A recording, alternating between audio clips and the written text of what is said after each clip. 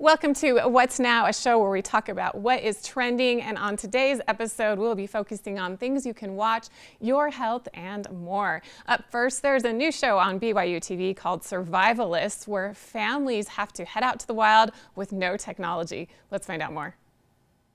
Right now, we are talking about a show called Survivalists on BYU TV, all about if families can survive in the wild without technology. Here to tell us more is Colin O'Brady. He is host of the show, also best-selling author and mountaineer. Colin, thanks for joining us here on Park City Television. Thanks for having me. Yeah, so excited to be here and uh, so excited for Survivalists to premiere on Tuesday. Well, I love the concept of this show, and honestly, I don't think my kids, my family would survive.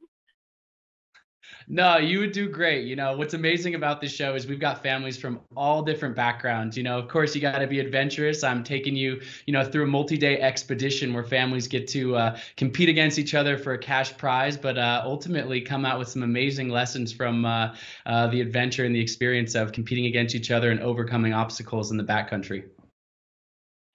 So tell me more about the families that are participating and some of the adventures that they have.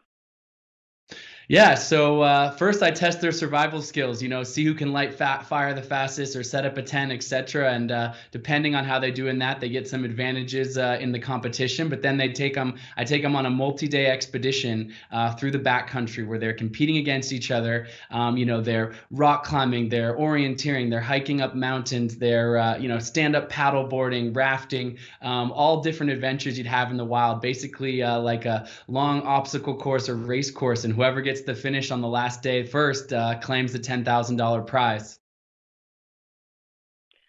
It sounds like the families, I'm sure they bond together and learn how to work with each other, but I'm also sure that there's some high tension moments yeah, you know, one thing I love and why it's great, you know, hosting this show is I've spent a lot of time in the backcountry. I've set 10 world records, uh, you know, pushing myself in the backcountry. But I grew up as a kid, you know, in the outdoors with my family. And what's amazing about that when we step outside of our comfort zones is, like you said, of course, it's going to, you know, show uh, some challenges out there. There's certainly some disagreements in that. But ultimately, what's beautiful about this show, even the families that don't necessarily come in first, um, they bond, you know, setting aside your technologies, setting aside your phone, being present with your family, and uh, having to overcome these challenges out there ultimately generally brings people together in a beautiful way, which has lasting impacts. And that's what's so fun about this show just the, the inspiration and positivity, despite, of course, the inevitable drama and challenges that they all go through.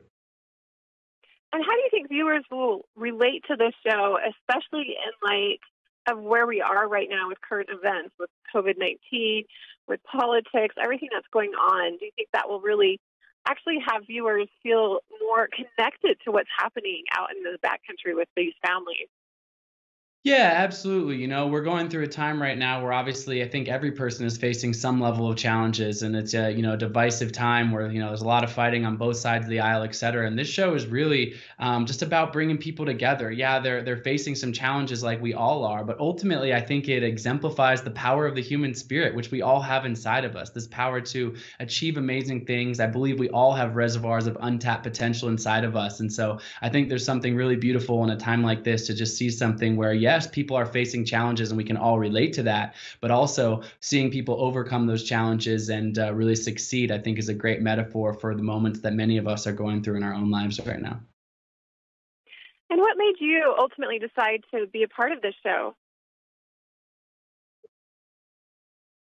Um, you know, I was drawn to hosting this show uh, because, as, a, as I said before, as a kid, I grew up in the backcountry with my family. You know, long before, you know, yes, I was the first person to cross Antarctica solo. I've climbed Mount Everest. I've set world records. But long before that, I was, uh, you know, hiking and biking with my family uh, in the Pacific Northwest where I grew up. And so many of my most important life lessons um, were derived from those experiences as a kid. So it's really fun for me to host and facilitate those experiences um, for these for these families and, and these kids and teenagers. Um, um, because I just know not only just what they're learning about themselves in the backcountry, but more importantly, what lessons they can take with them throughout their entire life is just um, so unique and powerful. Um, and I really just believe in the power of that.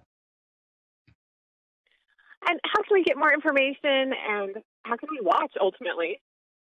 Yeah, so uh, this premieres uh, October 13th, Tuesday on BYU TV. Um, BYU TV is on uh, many people's cable subscriptions, Dish, Dish Network, etc. But also, it's completely free online. So BYUTV.org, or you can download the app. There's no subscription. Literally anybody can download it. It's free. Um, so download the app and uh, tune in to Survivalist. Uh, I can't wait for you to check out the show, and I, I know you're going to love it.